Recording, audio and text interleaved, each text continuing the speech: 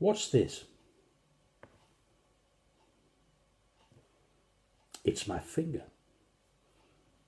And this is my little finger. I wave my finger in front of your eyes, like this.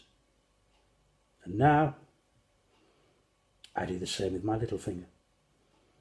I can also use both at the same time, like this. I can do absolutely anything I want. Do you think I'm mad? My mother did.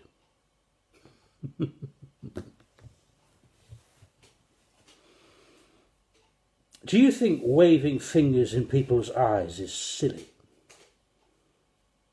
I can see your point.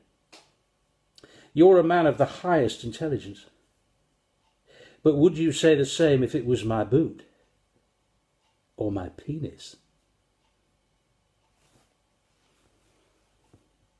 Why am I obsessed with eyes? Am I obsessed with eyes? Not my own eyes, other people's. The eyes of people who were brought to me here. They're so vulnerable. The soul shines through them. Are you a religious man?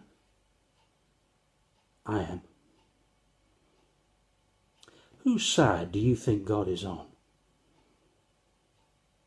I'm going to have a drink. Mm.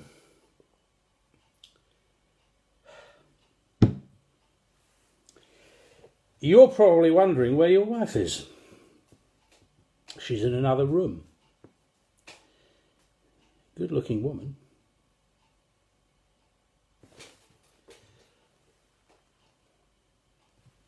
Mm. God, that was good. I don't worry, I can hold my boots. You may have noticed that I'm the chatty type.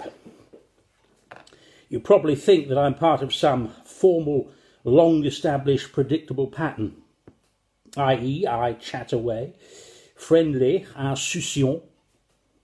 I open the batting, as it were, in a carefree, not to say informal manner, while another waits in the wings, silent, introspective, coiled like a puma. No, no. It's not quite like that. I run the place. Everyone knows that God speaks through me.